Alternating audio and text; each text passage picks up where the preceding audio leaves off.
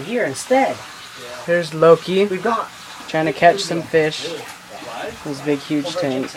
I just got him yesterday. Dude, I got this new hook catches everything. You know how normally they nibble, nibble, nibble, nibble, nibble, nibble, and eventually catch them? Dude, I'm serious. Catch, catch, catch, Hey, nibble. Sheldon. Like, you catch, Yeah. you catch three fish before you miss one. Go get him.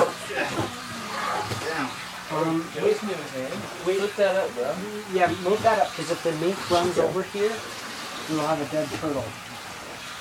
She'll grab his head and kill him before we can do anything about it.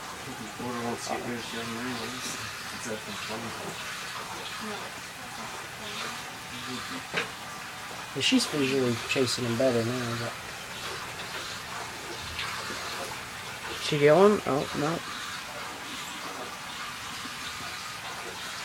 She she's smart. Watch, she'll she'll look for places where you tell she doesn't know the fish is there. She just has had enough experience that she knows they could be there. She does these really smart little things. Well, they're not smart. It's just experience.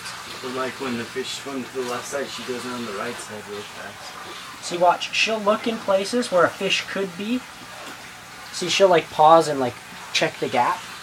It's total experience. It just she's learned to do that. Things that my mate won't do, she hasn't figured out yet. Go get him. Go get him. A little half web paws.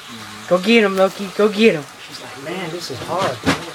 Hey, This where is- are you going? This is really good for her, man. Go get him. Go get him. No. If she decides she wants to quit, we can put her in, give her a towel. Give her a little towel and let her dry off in her box, and we can give another mink a chance. I don't know. Give her a minute, see if she jumps back in, but if she